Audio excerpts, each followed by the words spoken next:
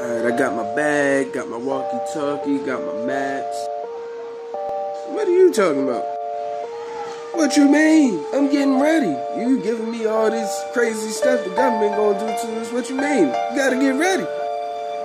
Eh, yeah, you're right about that. But come on, we got a couple more to do. Alright, go ahead, give them to me.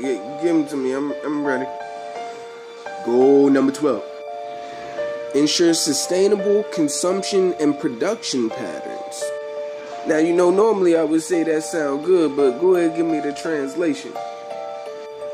Begin levying punitive taxes on the consumption of fossil fuels and electricity, forcing people to live under conditions of worsening standards of living that increasingly resemble third world conditions.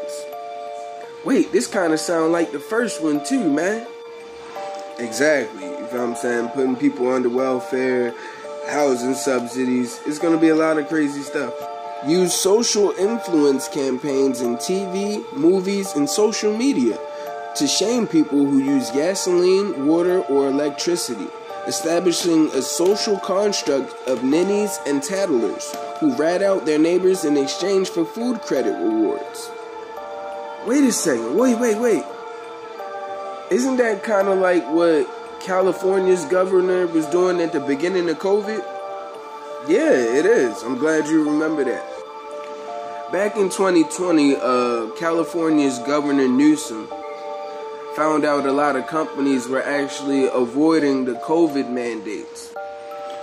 So he said he was going to come up with a program for the people to give them extra benefits or extra credits for actually ratting out these businesses who were going against the mandates. So yeah, that'd be something easy to do. Goal number 13. Take urgent action to combat climate change and its impacts. Man, with these people, I don't even know if I need to believe in climate change. What's the translation? Set energy consumption quotas on each human being and start punishing or even criminalizing lifestyle decisions that exceed energy usage limits set by the governments. Institute total surveillance of individuals in order to track and calculate their energy consumption penalize private vehicle ownership, and force the masses onto public transit where TSA grunts and facial recognition cameras can monitor and record the movement of every person in society, like a scene ripped right out of Minority Report.